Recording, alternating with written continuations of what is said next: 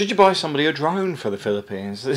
this is I find this quite amusing actually, but um, a few people have brought it up, and I was because I'll be honest with you, I've been too busy to actually follow anybody's channels, and today being Sunday, as you can see, I'm a bit more relaxed because um, this week I've been at auctions and other things. Um, haven't really updated nothing, but anyway, should you buy anybody a drone? I'll tell you now. I actually already own a drone. Um, it's under the bed. We don't take it out that much. The big risk with the drones is aviation authority. um, you need to understand the laws, regulations, etc. And although I love my drone, I love flying it. We do take it up over the fields. Um, do I want to fly it over the salt lakes? Do I want to use it in more capacity? Uh, I'll be honest with you if I trusted it enough, I would. Um, but I would be very wary of the law. And this is where I'm saying in the Philippines, people are going to be very careful on what they're doing unless they actually understand the aviation rules about flying in built up areas, etc. And may, people may go, oh, that doesn't uh, count for me. you may find that somebody uh, will actually understand the law and may bring it um, bring it to you in full force. Because um, fines with aviation are pretty pretty heavy. In the UK, some people have had some heavy fines for flying over football stadiums, for example, because you're not allowed within, I think it's 50 feet of a public building. This is why, when somebody was suggesting one of the companies I was working for, one about doing drones for surveying, I turn around and says, "What are you talking about?"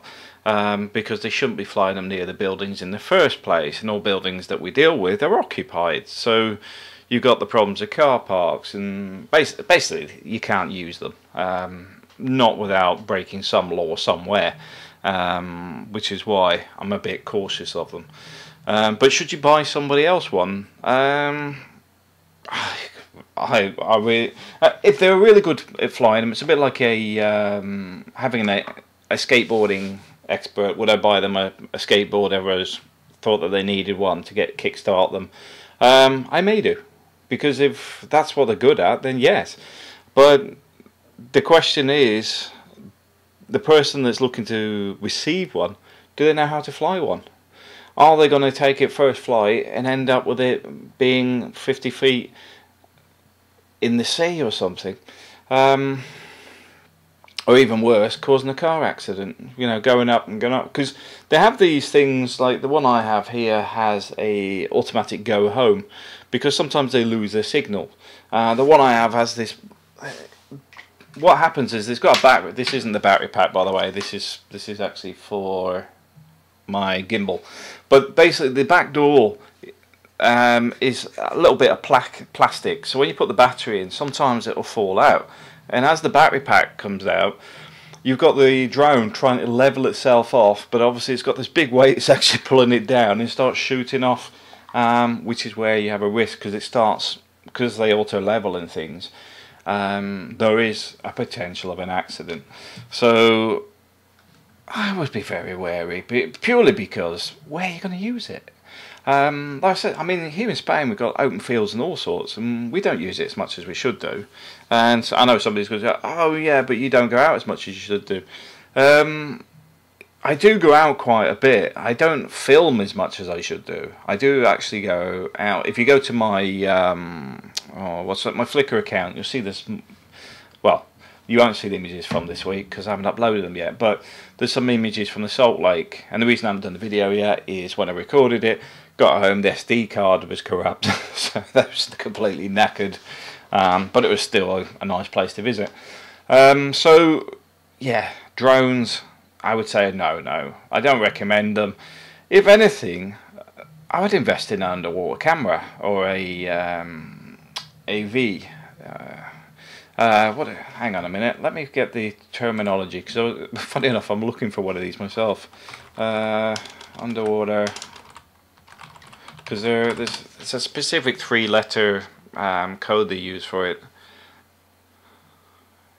And with this high-speed internet, I'll have a response for you in seconds.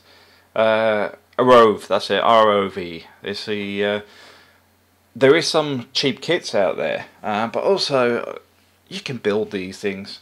In fact, I was looking at building one. It's just like the problem I have is I've got so much stuff going on. I need to make more money at the moment um, before I start playing with stuff I actually want to do. I've got to do the stuff I need to do before I do the stuff I want to do.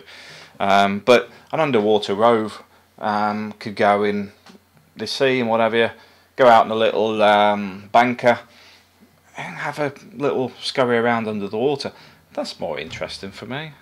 Um, because the problem with drones, what you're going to see, oh look, I can see a built-up area from above. Okay, it's nice. Don't get me wrong, it is nice, but like I said, I think there's far too much risk with the bloody things.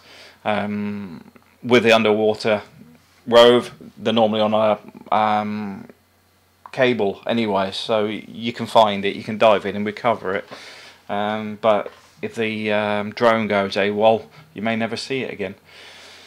So my personal viewpoint is unless you actually know the laws and are a capable flyer and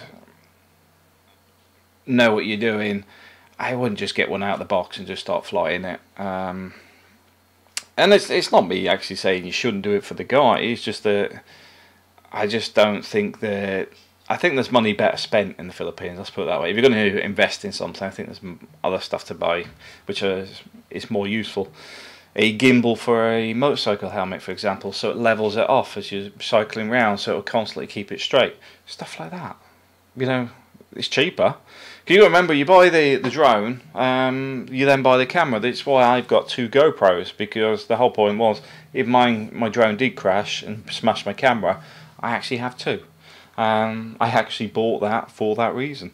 So be aware that the assumption that oh yes, yeah, a good. The other thing is you upgrade them as well. Mine's got loads of upgrades on it from when I bought it because the first thing you've got is the blades on the the, the ones they give you are very plastic.